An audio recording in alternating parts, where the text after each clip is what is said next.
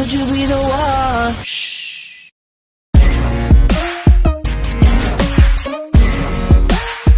Go. Hello guys! Welcome back to my channel. So, dito nga pala kami nag-check-in sa hotel dito sa Genting Islands. Ayan yung bed namin. Dalawang single bed siya. Pero mamaya, pagtitikitin namin siya para parang tabi na rin kami ni Reggie. Ayan guys, ayan siya, nagsa-cellphone. Meron isang maliit na TV dyan. Ayan yung mga gamit namin. Tapos, andito yung toilet. Ayan, guys. Maganda rin yung toilet nila. Ayan, nilagay ko yung mga aking mga abubot. Andyan. Ayan, ayan yung toilet bowl. Diyan sa side, yung mga ginagamit ko sa aking katawan. Ayan. Tapos, syempre, may shower room. Diyan. May heater din yan, guys. Okay. Meron din ashtray kasi dito, yung ano na to is smoking area. Kaya, pwede mag-smoke, pero hindi naman kami nag-smoke. Ayan si Reggie. Cellphone, sir. Cellphone. Napagod sa biyahe. Kaya ayan. Ang ganda dito guys. Wala, wala siyang aircon kasi napakalamig dito. Kahit hindi kayo naka-aircon, sobrang lamig. Parang naka-aircon na rin kayo. Kasi Genting Island sa Pilipinas, parang Tagaytay siya. Napakalamig guys. So ayan yung mga abugot namin. Mga shoes. Mga ano namin gamit. Ayan. Kasampay yung mga jacket namin dyan. Meron mga Meron din akong dalang mga pagkain para pag magluto, yeah, meron kaming kakain. Ayan guys. Okay guys, see you later in a bit. Bye!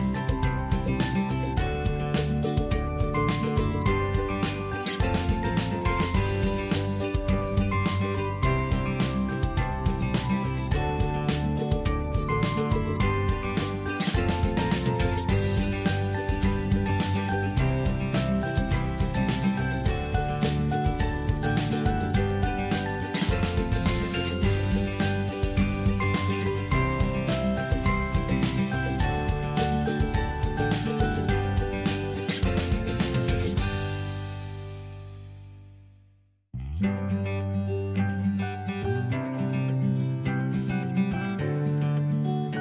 welcome back to my channel. Today's Okay, yan na nga guys. Andito kami sa Genting Island ng ating mahal. So, bukas uli na ng anong oras tayo mahal? 8.30 a.m. Kasi may pasok pa kami guys, 12. So, magpapahinga lang kami dito and